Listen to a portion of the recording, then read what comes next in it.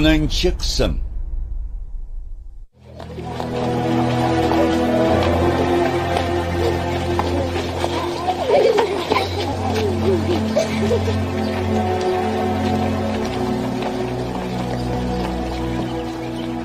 Bu odam o'z urug'ining sayyidi. Islomni qabul qilsa ko'plar unga ergashadi. Xush ko'rdik marhabo o'zingni bizdan uzoq tutyapsan. Bizga yaqinlashging eshitging kelmayapti. Xudo haqa bu umoma qarindoshim bo'lmaganingda bunaqa muomala qilishga hadding sig'masdi. Biz yoqtirmagan narsaga da'vat qilmoqchimisan.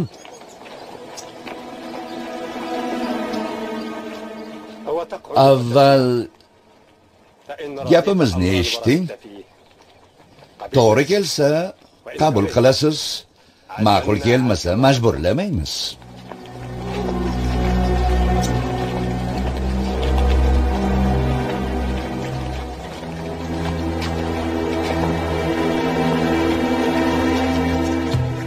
Haj mavsumi. Payg'ambarlikning 13 yili.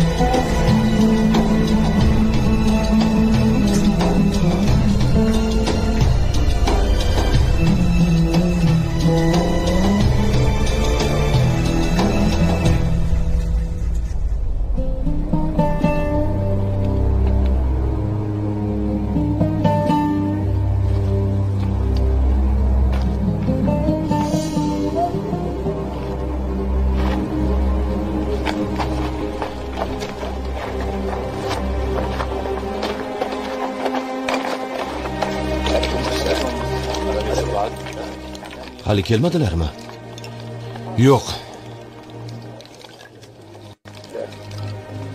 hali kelmadilar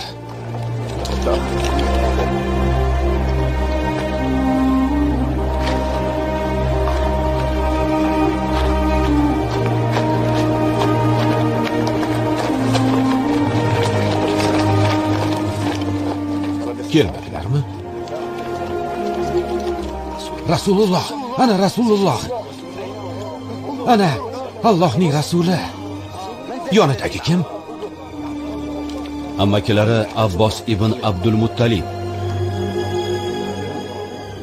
Ey avs va hazrat jamoasi alloh haqi jiyanim o'z qavmi hoshim urug'ining himoyasidadir. Lekin u sizlarni tanlab sahobalari bilan sizning yurtingizga hijrat qilmoqchi. Agar uni o'zingizni ahlingizni farzandlaringizni himoya qilgandek himoya qilishga ko'zingiz yetsa oldiga kelib bay'at bering. O'zi va rabbi uchun nimani shart qilsa qabul qiling. Aks holda biz bilan qoladi.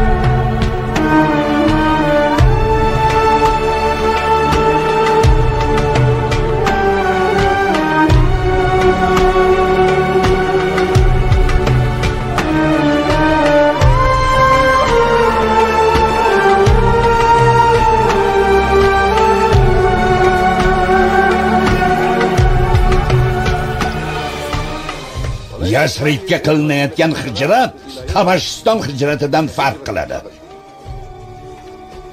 Muhammadning sheriklari bizdan bir necha kunlik yo'l narida bo'lgan katta shaharga ko'chishyapti. U qavm nufuzli arablardan. Ular qurayshliklar bilan sharaf borasida doim raqobatlashib kelishgan. O'zlarini sizga teng ko'rishadi. Ular yamaniy bo'lsa sizlar muzardansiz. Ular biz bilan nizoga borishmagan. Muhammadga iymon keltirib unga qo'shilmagunlaricha biz uchun xavfsiz edi. Lot haqi ular jasur yaxshi jangchilar. Muhammad barcha izdoshlarini hijrat qilishga buyurgani ma'lum bo'ldi. Qodir bo'lmaganlar bundan mustasno. Yasribda to'planishsa nima qilasizlar? Muhammad u yerga borgach barcha unga ergashadi. Tabiiyki uning har bir so'zi qonunga aylanadi. Agar avs bilan hazraj muhojirlar bilan birlashib ustingizga bostirib kelsa nima qila olasiz? Muzar ahlini ularga qarshi jangga chaqirsak ularning orasida qavmingiz ham bor-ku deyishadi. Ular muhammadning dini asosida yagona jamoaga aylanishgan. To'g'ri. Tijoratingizni ham unutmang. Shomga qatnaydigan karvonimiz yasrib tomondan o'tadi. Uning xavfsizligi nima bo'ladi? Makka ahlini bir qismi ketib qolsa xaridorlardan ayrilamiz. Yasriblik xaridorlardan ham mosuvo bo'lamiz. Yasrib aholisi tijoratchi emas dehqon. Sizlardan mol sotib olishardi. Endi o'rtada diniy adovat paydo bo'lsa savdo mavsumida sizdan mol oladi deb o'ylayapsizmi? Hijrat qilgan qavmdoshlarimiz esa ziroatdan bexabar. Ular hademay yasribda tijoratni yo'lga qo'yishadi. Shunda yasribliklar tugul o'sha atrofdagi boshqa arab qavmlarining ham bizga ehtiyoji qolmaydi. Nega bunday ahvolga tushib qolganingiz haqida o'ylab ko'rdingizmi? Sizlarni ogohlantirgan edim-ku arablarni da'vat qilishga qo'yib bering. Arablar uni o'ldirishsa qutulasiz qo'yasiz degandim. Lekin sizlar quloq solmadingiz. Endi esa boshingiz qotib nima qilishni bilmay o'tiribsiz. Nima qilishni bilamiz. Muhammadni va uning qolgan izdoshlarini hijrat qilishdan qaytaramiz. Kerak bo'lsa qilichni ishga solamiz. Avval o'z oilalarimizdan boshlashimiz kerak. Hech kimni hijrat qilishga yo'l qo'ymaylik. Ko'chib ketganlarga kelsak ularning uy joyi mol mulki bizga qoldi. Boyligi quroli yeri chorvasi endi hammasi bizniki bo'ldi.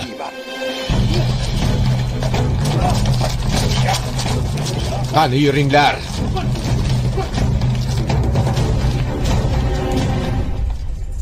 Hijrat qilishingizga yo'l qo'yadi deb o'yladingizmi? Biz ketsak sizga nima ziyoni tegadi? Ikkala bolam bilan ayriliqqa chidolmayman. Agar bu o'g'lim qolganida ham seni unutgan bo'lardim. Lekin uni ham yo'ldan urding kuch va quvvat faqat Allohdandir. Xudoga shukur bolalarim sog' salomat yonimda. Bu ish nima bilan tugashini bilmaymiz. Vaqti vaqti bilan sizlar bilan ko'rishib turaman bir birimizning diydorimizga to'yamiz. Siz nohaq bo'la turib erkin kishansiz yuribsiz. Biz esa haq bo'la turib kishanlanganmiz. O'zingiz Alloh bilan o'rtamizda hech qanday to'siq vositachi yo'q degan edingiz-ku. Ozod bo'lasizmi yoki mahbusmi nima farqi bor? Kuch va quvvat faqat Allohdandir shundan boshqa gaping yo'qmi? Ikkimizning haqqimizga duo qilsak boshingizga balo yog'ilishidan qo'rqaman. Chunki mazlumning duosi bilan Allohning o'rtasida biror to'siq bo'lmaydi. Hali ham otangga joning achirganda. Yana shu ahvolga qaytdik. Ha qaytish yaxshi bo'lmadi. Kuch va quvvat faqat Allohdandir. Xudo haqqi otamni xudoga soldim otamga hidoyat so'ra sho'rim qursin. Qanday qilib otam bilan bani omirga aldandim a ko'nglingni cho'ktirma. Hijratdan shu kishan to'sib turibdimi? Shu ya? O'zingni ayamasang ham menga rahming kelsin.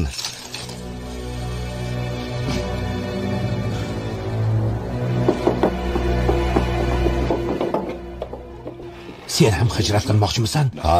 Yo'lda hamroh bo'lamiz. Lekin tunda yo'lga tushaman. Birov ko'rib qolmasin. Ayniqsa abul hakam. Keyin xavfsiz joyda ko'rishib olamiz. Salamaning ahvoli qalay? U yo'qligimni bildirmay turadi. Shunda abul hakam sezmaydi. Vaziyat tinchigach inshaalloh u ham hijrat qiladi. Vodiy ortidagi g'afor qavmi daraxti yonida ko'rishamiz. Inshaalloh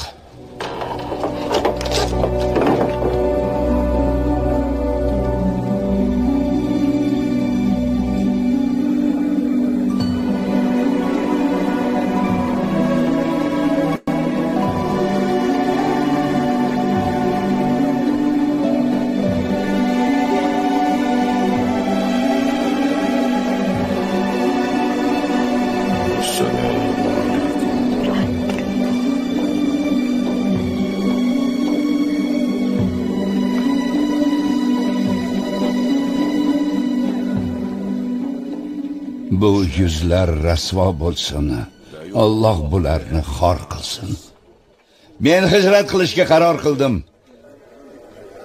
Kimki onasi azador bo'lishini yoki bolasi yetim yo ayoli beva qolishini istasa shu vodiy ortida men bilan uchrashsin.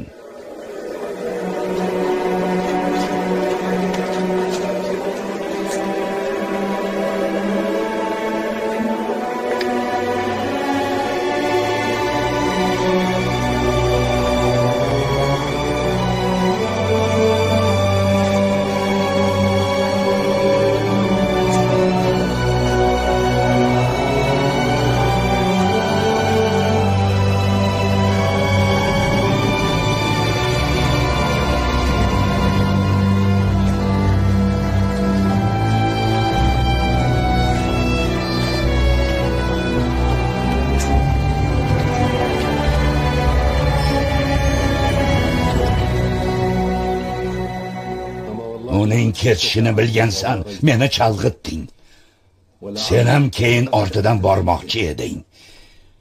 Lekin aytib qo'yay shunday bir ish qilamanki ikkovingiz ham shu yerda o'tirasiz.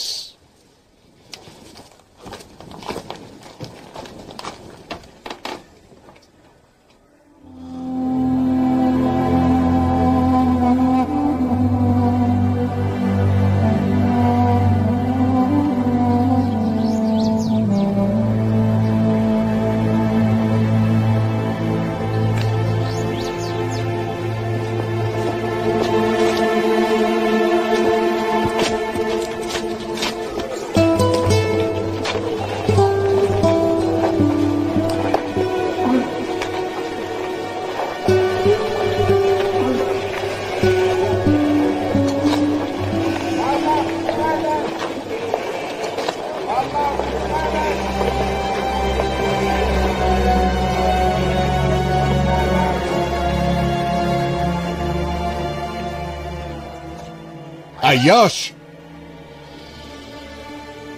Abul hakamku nega ketimdan kelding? Men sen bilan qaytmasligimni yaxshi bilasan-ku bu yerda hukming o'tmaydi. Hoziroq qaytib ket. Shunaqami bir onaning farzandimiz-ku axir. Xudo haqi olloh haqi onammi deb keldim. Uni ahvoli juda og'ir. Ketganing uchun chuqur qayg'uga botgan. Seni ko'rmagunicha sochini taramaslikka qasam ichdi seni ko'rmagunicha soyada ham o'tirmasligini aytdi. Oftobda o'tiribdilarmi? Ha xudo haqqi. Sho'ring qursin. Yana unga ishonyapsanmi? Seni ortga qaytarib yana dindan chiqarishga urinishadi. Ehtiyot bo'l. Agar onangni sochi bitlab ketsa yuvinib taranadi. Oftob ursa soyaga o'tadi shunaqa ham surbet bo'lasanmi umar? Aka uka o'zaro gaplashyapmiz-ku. Endi men ham uni akasiman. U haqiqiy aka bo'lishga loyiq. Hozir bahslashmaylik. Gapimni eshitding.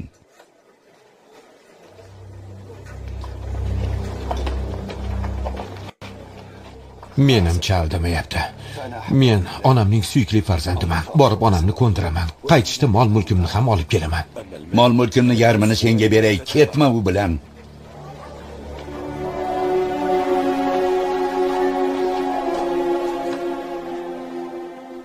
yo'q. Ketmasam bo'lmaydi.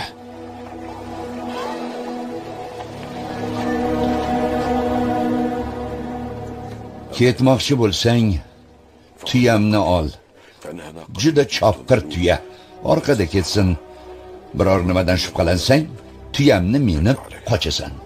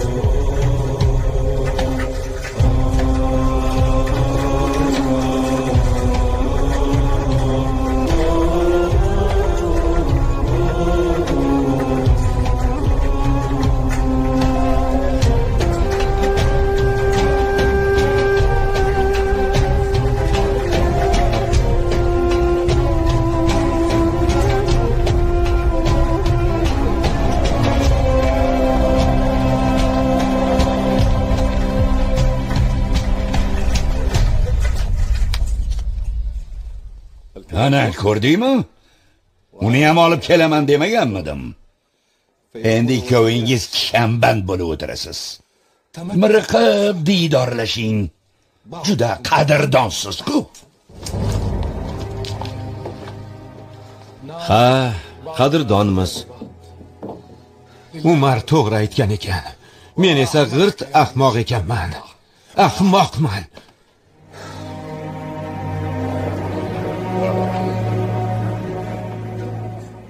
Uni kishanlab qamab qo'yishimiz kerak. Yo'q yo'q yo'q. Uni olisroqqa surgun qilaylik.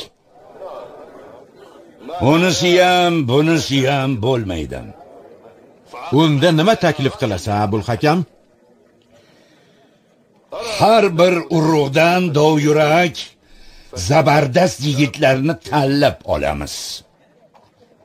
Oliy nasab hurmat e'tiborli yigitlardan har birini qo'liga keskir qilich beramiz. Hammasi birgalikdan muhammadga tashlanadi. Shu tariqa bizni muammodan xalos etishadi.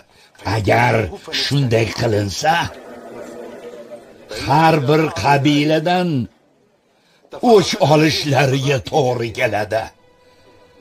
Abdumannof urug'i barchadan o'ch olishga qodir emas. Xunini to'lashimizga rozi bo'ladi. Biz xunini to'laymiz.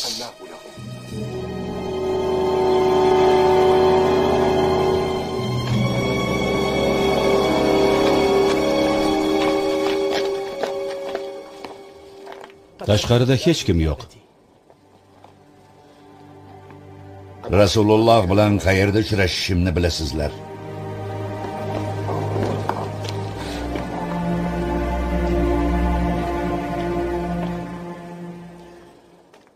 rasulullohga hamroh bo'lish baxtini bir dunyo oltinga ham alishmayman.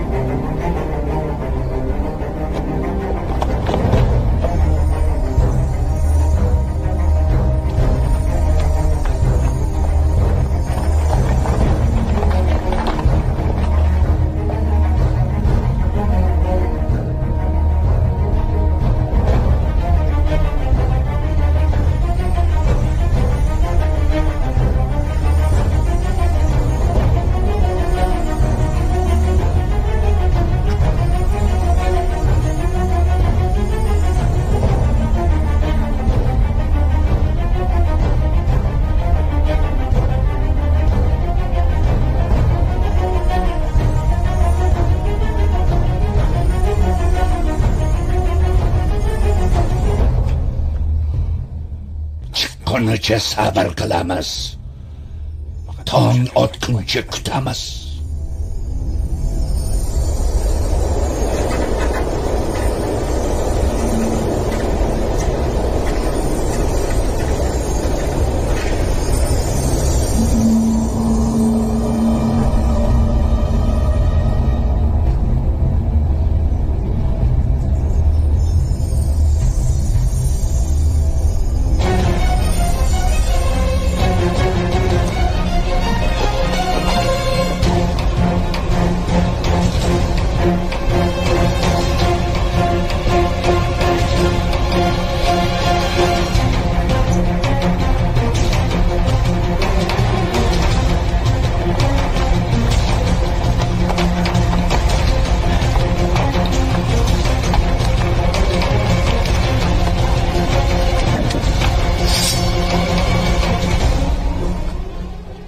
ali? Kim deb o'ylovding? Muhammad. Muhammad qani muhammad qayerda? Qani muhammad? Bilmayman. Ketganlar.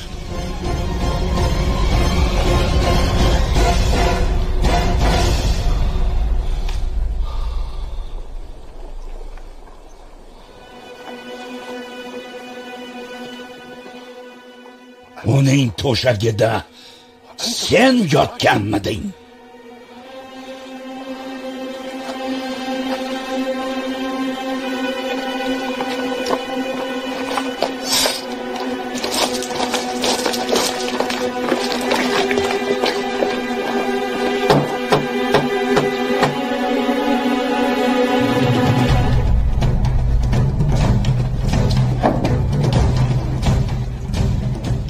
Otang qani qayerdaliklarini bilmayman.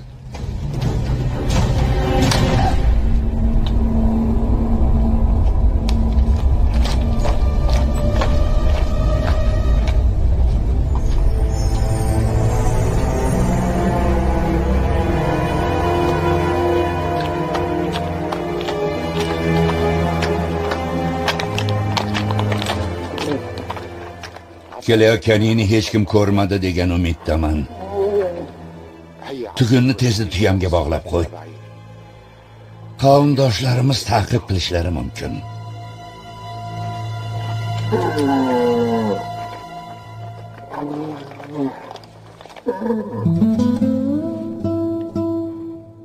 Bog'lash uchun arqon olishni unutibman. Bog'laydigan biron narsangiz bormi?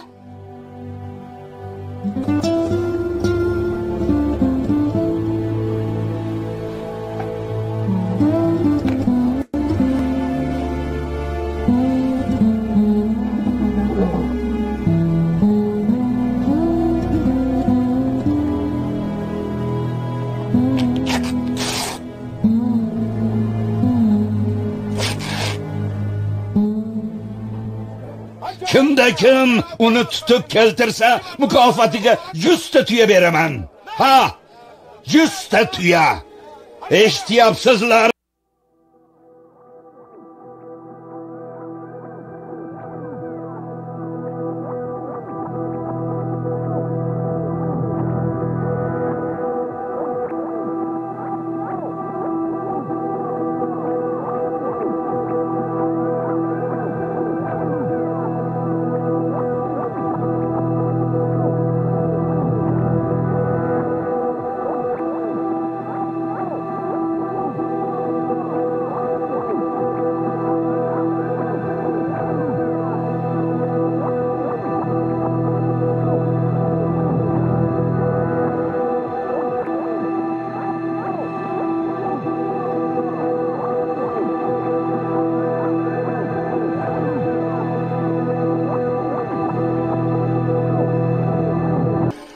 Kəbənin Rabbı haqqı tapdım.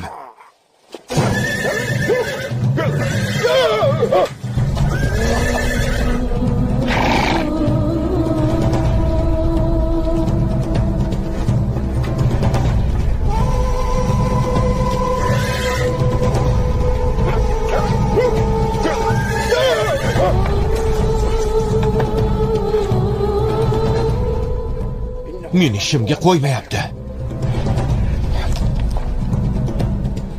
Shoshmanglar, sizda gapim bor.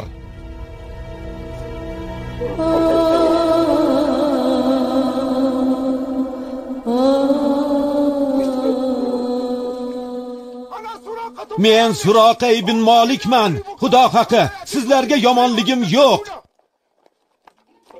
bizdan nima istaysan Havming do'stingni tutib keltirgan odamga 100 ta tuya va'da qildi. Men o'sha mukofotni olmoqchi edim. Lekin endi tushundim. U ilohiy himoya ostidagi zot ekan. Hech kim unga ziyon yetkaza olmaydi. Istasangiz, sizlarni yegulik bilan ta'minlayman. molingga Alloh baraka bersin muhimi bizni ko'rganingni hech kimga aytma Aytmayman, aytmayman. quloq sol suroqa kelajakda kisro taqinchog'ini taqar ekansan Kisro Kisro Fors hukmdori-ku. Rasululloh seni ko'rganlarida shu gapni aytishimni tayinladilar.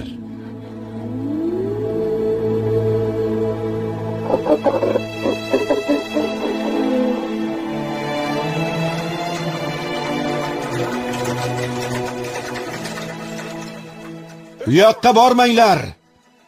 U yerda hamma yoqni sinchiklab ko'rdim. Hech kimni topolmadim. Mening ko'zim juda o'tkir. Bu hududni yaxshi bilaman. Otim ham juda chopqir ot.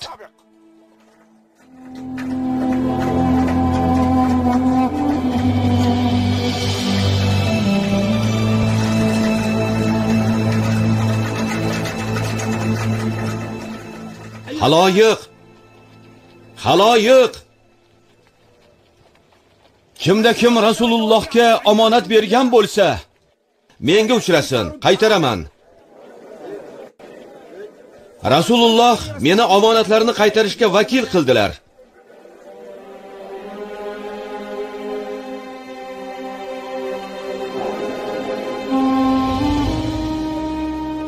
Madina shahri yaqini. Payg'ambarlikning 13 yili. Rabbiyul avval oyi. Rasulullohni juda sog'indim agar Allohning o'zi u zotni asrashini bilmaganimda qattiq xavotir olgan bo'lardim. Anchadan beri kutyapmiz. Har narsani o'z vaqti bor.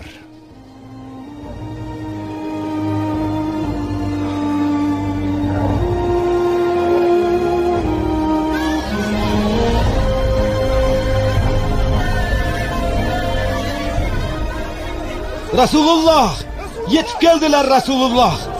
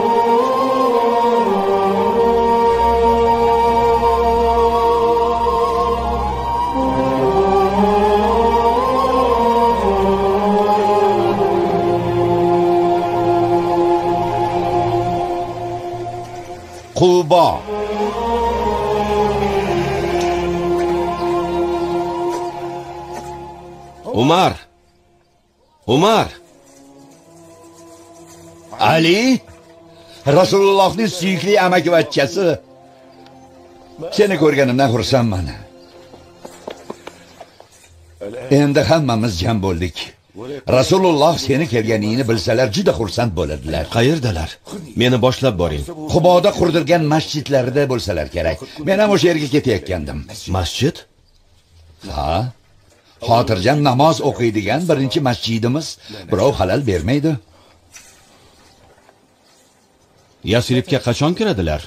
Erta yo indinga. Alloh o'zining rasuliga suyukli jigari ali bilan birga yasribga kirishni nasib qilgan ekan. Oyog'ingga nima bo'ldi? Minib kelishga ulov topolmadingmi? Allohning madadi bilan piyoda yetib keldim. Qoyil. Baraka top rasulullohning amakivachchasi yasrib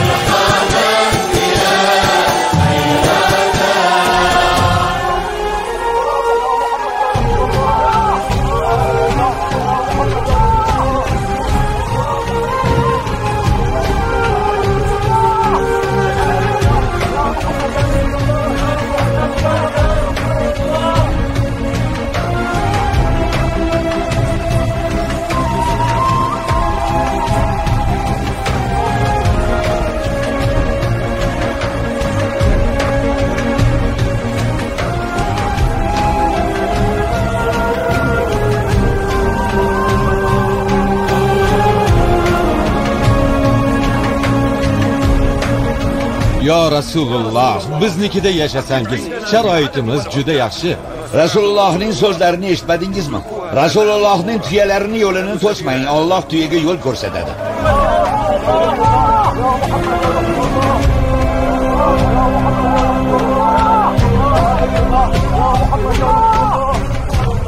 Yo rasululloh yaqinlarim xizmatingizda bo'ladi. Biznikida qo'nim topsangiz hamma narsani muhayyo qilamiz rasululloh tayinladilar tuyaning yo'lini to'smang. Jonivor Alloh xohlagan joyda to'xtaydi. Alloh haqi yo'lini to'smanglar.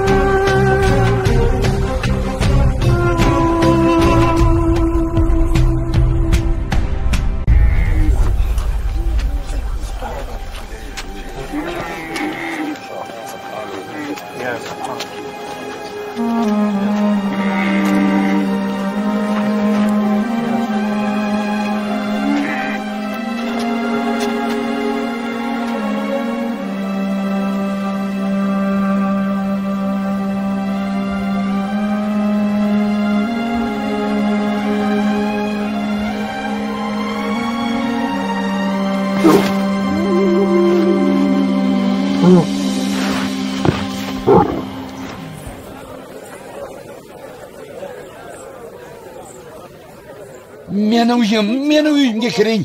Tuya to'xtagan joyni shundoq yonginasida yashaymiz. Vaqtingiz bor ekan abu ayyub. Alloh rasulullohga boshpana berishni sizga nasib etibdi. Allohim o'zingga hamd bo'lsin.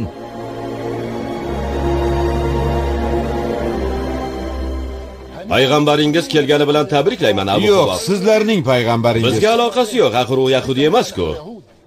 O'zingiz bizni zamonda payg'ambar chiqadi degan edingiz-ku g'olib bo'lamiz degandingiz mana siz aytgan payg'ambar keldi.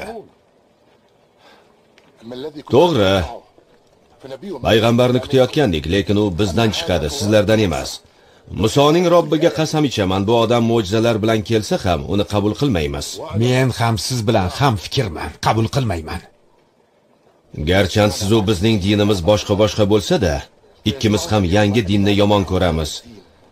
Bu odam yangi din olib keldi biz uchun sizning diningiz uning dinidan yaxshiroqdir.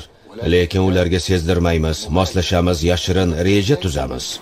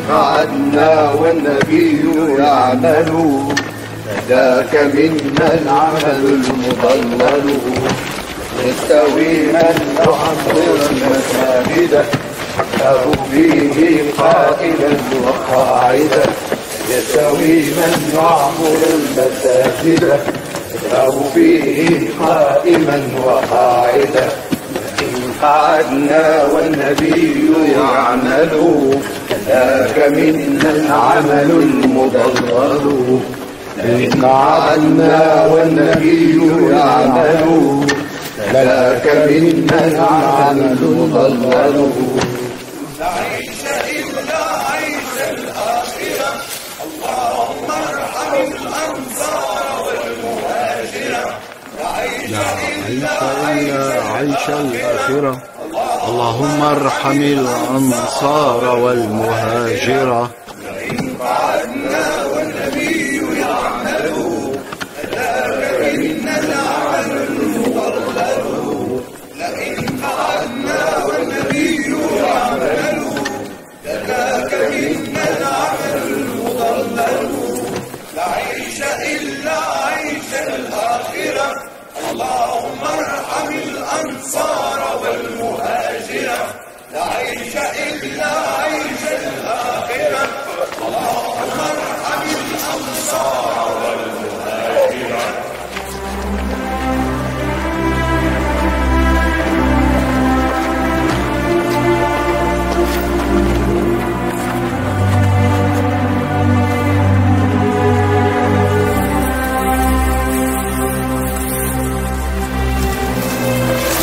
Allohga shukur qurib bitkazdik. Allohga shukur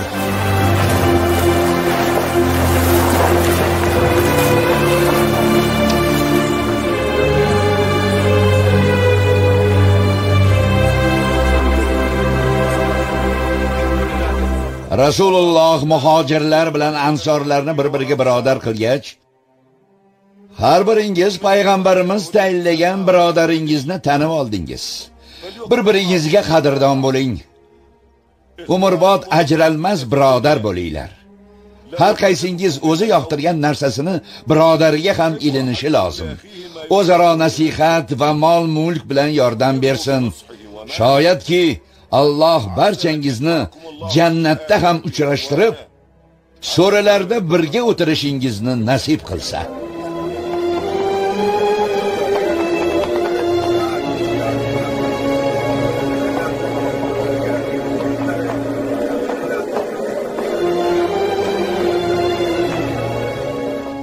Bu muhammad payg'ambar tomonidan quraysh va yasriblik mo'min musulmonlar hamda ularga ergashgan kelib qo'shilgan va ular bilan birga jang qilgan kishilar o'rtasida tuzilgan bitimdir.